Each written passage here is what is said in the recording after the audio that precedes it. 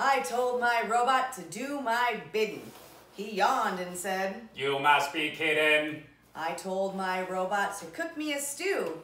He said, I got better things to do. I told my robot to sweep my shack.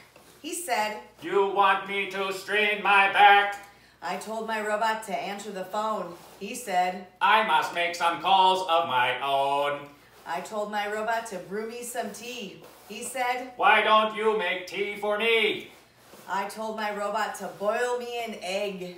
He said, First, let me hear you beg. I told my robot there's a song you can play for me. He said, How much are you gonna pay me? So I sold that robot because I never knew exactly who belonged to who. Ha ha ha